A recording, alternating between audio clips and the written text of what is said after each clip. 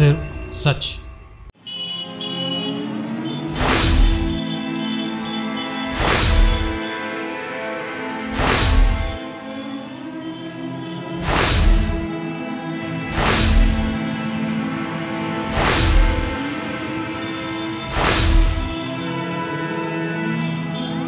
मध्य प्रदेश के जबलपुर में बारिश का दौर जारी है। सोमवार की शाम और रात में हुई तेज बरसात के बाद मंगलवार सुबह से ही मौसम का मिजाज बिगड़ा हुआ है। सुबह रिमझिम फुहार के बाद थोड़ी देर के लिए धूप ज़रूर खिली, लेकिन दोपहर दो बजे एक बार फिर मौसम ने करवट ली और तेज हवाओं के साथ जोरदार बारिश ने दस्तक दी।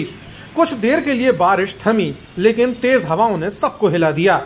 दोपहर ढाई बजे के आसपास तेज हवाओं के कारण जबलपुर के इनकम टैक्स चौराहे के पास एक पुराना पेड़ जड़ से उखड़ गया।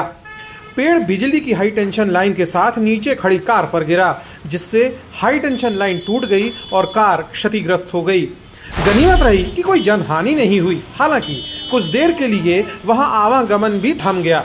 इसके बाद सूचना पर मौके पर पहुँचे नगर निगम के दल ने पेड़ को काटकर सड़क किनारे करने के प्रयास शुरू कर दिए हैं।